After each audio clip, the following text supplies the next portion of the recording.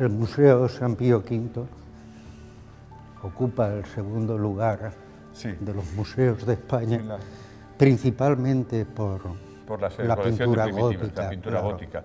Yo creo que vosotros los artistas necesitáis mucho los museos para aprender y como referente un poco también, ¿no? es decir, para vol- vol- volver a la realidad, ¿no? Un poco... Sí, eh, te sitúa perfectamente. Eh, visitar museos, un artista, es un fenómeno eh, muy fuerte, muy... Técnicamente, ¿cómo has superado, cómo consigues, cómo lo consigues hacer lo que quieres? Es decir, porque habrá habido un proceso paulatino de, de dominio de la técnica o lo, o lo adquiriste muy pronto. Eh, lo adquirí pronto, pero de una manera costosa. Costosa, O sea, no soy un superdotado. Te cuesta. Me cuesta, me costó mucho y porque yo venía del óleo, pero al encontrarme con las nuevas pinturas hice nuevas pinturas, lo que equivalía también a cambiar conceptos sobre Claro. qué es lo que tendrías que pintar, cuál sería el motivo. Porque el, el- el planteamiento ante el acrílico es absolutamente distinto. Distinto, completamente distinto, filosóficamente distinto. Exactamente, exactamente. No solo técnicamente, Eh, no, sino no. conceptualmente, diríamos. Claro, el pintor o el artista en general se plantea dos preguntas. ¿Qué quiero pintar y cómo, ¿Cómo? lo quiero Claro, pintar? claro, claro. Esas son las dos. Ninguna de las dos Pues por separado funciona. Es decir, No, claro, un- hay que- una obra de arte tiene que sal- surgir de la, salir de la mente, si no, no sirve para nada. Tiene que hacerse porque Tiene que hacerse obra. se tiene que hacer obra y eh, con la técnica adecuada.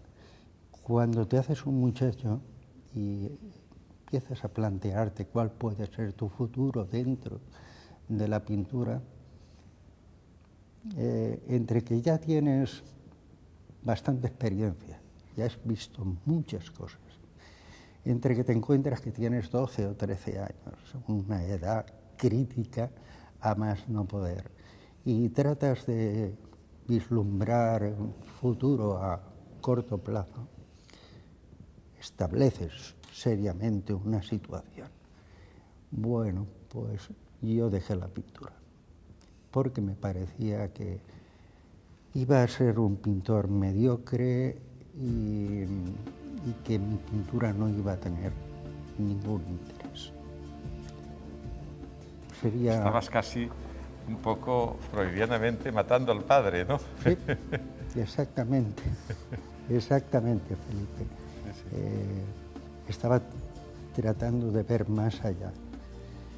Y se me ocurrió hacer un purgatorio, dejar de acudir a clase, dejar de pintar, eh, porque tenía en tan alto concepto a la pintura y al arte que eh, no merecía yo Tema de catarsis. estar allí. No lo merecía. Juzgué que no lo merecía. Y por estas ínfulas que, que nos damos los artistas, de que como somos artistas tenemos que hacer arte. Y cuando esto no llega a arte es muy desalentador, cuando ves la torpeza, cuando ves que las ideas no son No, no fluyen con esa brillantez que deben fluir. Claro, no, para ser un jugador de quinta regional prefiero no, no jugar. Yo a veces clasifico los pintores, sobre todo estos últimos años que he estudiado mucho a Sorolla, pintores que disfrutan pintando y otros a los que el pintar es un verdadero sacrificio, aunque siguen haciéndolo. Sorolla, por ejemplo, disfrutaba mucho pintando. Tú disfrutas Sí, pintando también. Sí, sí, para mí continúa siendo un juego, un juego infantil, no un juego de adultos, sino infantil. El ver la paleta llena de unos colores preciosos que están vibrando, están el uno al lado del otro y es como contemplar una orquesta Exacto. a punto de empezar a tocar. ¿no?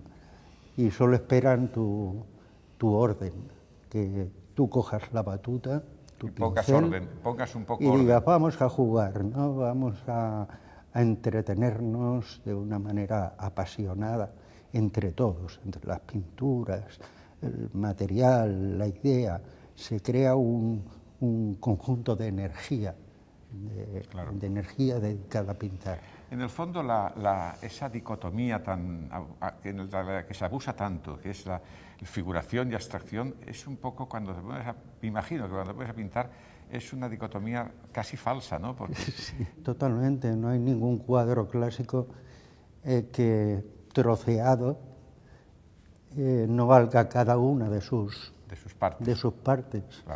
Porque evidentemente si fueran mediocres los pedazos o no tuvieran sentido, al juntarlos no producirían, nada. Yo recuerdo, perdóname que cuente una anécdota personal, en mi tiempo de director del Museo del Prado, los despachos estaban, que ahora ya no están así, en, un, piso dentro del propio edificio Villanueva, por el que cuando salías, normalmente a, altas horas de la tarde, tenías que cruzar mucha parte del museo. ¿no? Yo recuerdo que salías del despacho con la cabeza pensando en mil asuntos y ese recorrido, unas veces por la sala de Rubens, otras por el Bosco, te cambiaba y te hacía olvidar todas las circunstancias concretas. ¿no? Es decir, salías yo diría que casi como renovado, ¿no? Habías pasado una ducha de, diálogo con cuadros en esa penumbra del, museo cerrado, ¿no? El cuadro tiene energía, tiene mucha energía, eh, y por mucho que se piense de dónde viene esta energía, dice, bueno, en principio vendrá porque el artista ha dejado pegado ahí ese esa vivencia, esa fuerza con la que ha necesitado pintar esto. Pero eso no es garantía, el esfuerzo no es garantía, de que, salga bien. Es verdad. Bueno, cuando se tienen que pintar, cuando pintas algún bordado suelto en una falda, una blusa, no tienes ningún problema, al revés, es algo muy agradecido. Es como cuando tienes que pintar medallas a, los generales, que dices, a ver cuando llego a la medalla, que ya, que ya me puedo lucir. Y aquí hay unos Sorollas. Aquí Sorollas también, Beruete. Beruete, claro, amigo íntimo de Sorolla. Este Sorolla a mí me gustó mucho siempre, este retrato siempre ha sido de José Luis Mariano López, Benjiure López de Arana. Es realmente extraordinario. Impresionante, siempre ha impresionado la limpieza, el cómo respetó el color. Estos blancos de Sorolla que no son blancos, que son, hay mil matices de color, mil matices de color, y cómo resuelve las cosas. Es que la, la pincelada larga de, de Sorolla. La pincelada larga. Persona que disfrutaba pintando y se le nota. Fíjate la evolución desde sus cuadros de sus academias de Roma aquí, ¿verdad? Sí, madre mía, madre Las academias de Roma ya, ya preludiaban, preludiaban importante cambio. Sus estudios, sus, sus copias de Velázquez, sus... Él admiraba mucho a Velázquez también. Claro, cómo no. Mucho. Era su verdadero. Hay un artículo de Blasco Ibáñez muy bonito que se llama Hijo de Velázquez, nieto de Goya. Un poco en ese sentido era muy... Es verdad, es verdad. Todo el mundo le parece que comprende a Velázquez por el realismo. Sí, porque aparentemente es fácil. Es fácil de... Eh, y cuanto más profundizas, llega un momento en que dices, eh, tendría que ser un extraterrestre. Sí. Es imposible. Y en los escritos, en libros que hay muy buenos, claro, hechos por muy buenos autores, eh, no hablan tanto porque no se puede hablar de la pintura de Velázquez, sino de lo, que le sugiere al, espectador. Porque es verdad que está la dificultad de traducir pintura a palabras. No se puede.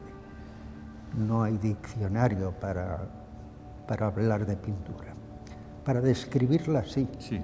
Claro. Pero para hablar, como tú dices muy bien. De pintura dices, no hay palabra. Es un cuadro con esa frialdad ah. del torso, ¿verdad?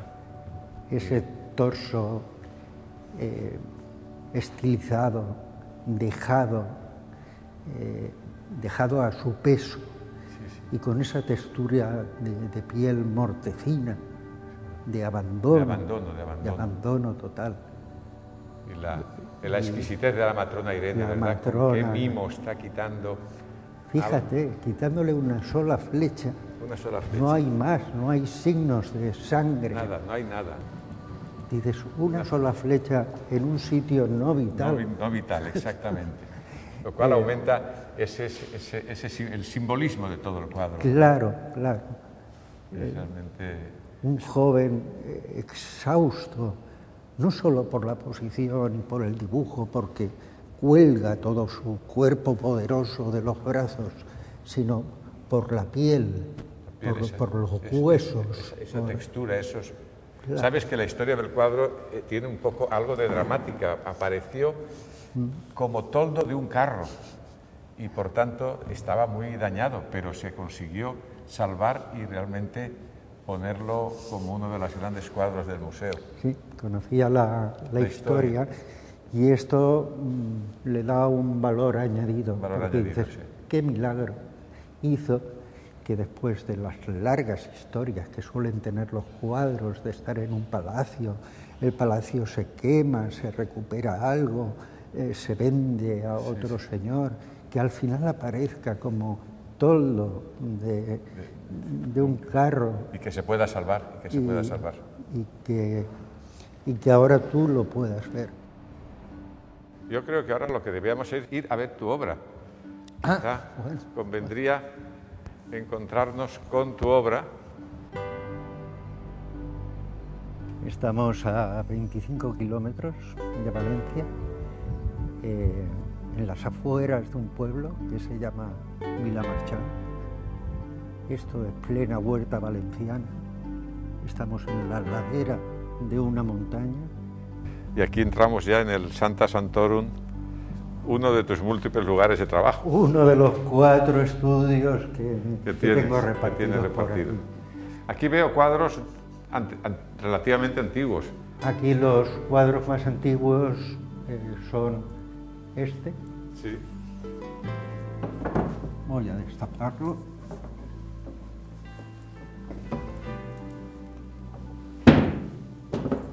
Este. Y este. Este es precioso. En los que se ve la influencia que tuvo los museos y la pintura clásica. Claro, claro. Eh, con los claroscuros. Pero ya manifiesta tu interés por la figura femenina. Sí. Que es, es constante. Es algo que siempre he tenido claro.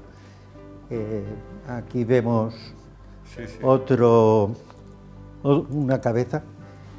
Yo aquí estaba enamorado de Caravaggio, continúo estando enamorado de Caravaggio. Pero se refleja ese, ese misterio de las sombras, ese misterio de las sombras, el claro de las caras, de los rostros infantiles. Cuando se pintan temas de luz y sombras, necesitas seguir el ritmo que te va dando la luz, la naturaleza, las vibraciones del aire. Ese es bellísimo. esos retratos, diríamos, en plena naturaleza, donde el auténtico protagonista es el, el, ambiente, ¿no? Sí. Y además, a veces, dependiendo. Bueno, esta es una especie de rosal que florece solamente durante 15 días al año. Entonces hay que estar esperando que esté eh, florecido para, poder, para, inmediatamente ponerte a pintarlo porque dura muy poco. Sí, sí. Esas son órdenes de la naturaleza. que dices, si me quieres pintar, tienes que seguir mi, mi paso. Exactamente. Y, esta es la exposición que hiciste en el Palau de la Música de Valencia, ¿verdad? Exactamente. Hay una parte de texto y cómo no encontrar similitudes entre este ángel y ese claro, ángel. por supuesto, por supuesto. Apenas poniéndole unas alas. Por supuesto, por supuesto. Porque somos mediterráneos y tenemos ese punto de, de conexión a través... somos, somos mediterráneos, somos... Sorolla decía, somos griegos Sí, Ese- sí. Esa manera de decirlo, ¿verdad? Una manera de, de de resumir captar, exactamente. sentido. Quiero que me enseñes tu serie de las muñe- de las personas estas suspendidas, de las Ingrávidos. ingrávidos, Con que es, mucho gusto. es la serie que de las tuyas quizá la que más me, me sorprendió por lo que tiene de, de- de etéreo. Fíjate.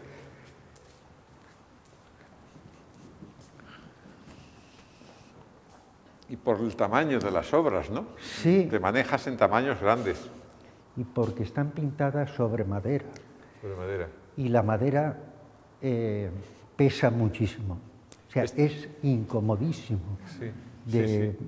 de De- moverlo, de moverlo. de- eh, es- pero crea unos efectos especiales. Puedes Exacto. hacer unos Muy tipos de transparencias y Que, de- que no consigues con el lienzo. no, el lienzo tiende a endulzar la pincelada, mientras que sobre Queda, la superficie de la madera queda más recio, más. más recio, más, Sí, sí.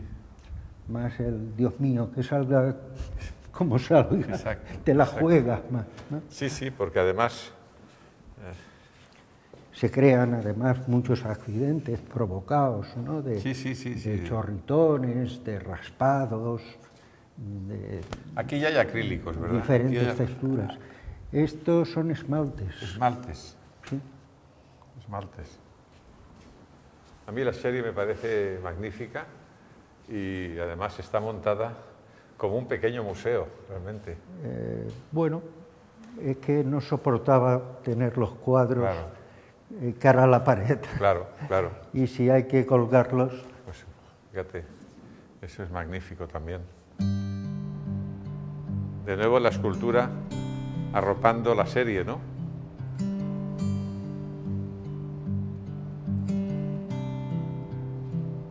Desde siempre el trabajo del pintor, desde las cuevas prehistóricas, el trabajo se ha hecho para el público, tratando de, dar im- imágenes, imágenes icónicas que signifiquen algo para su vida.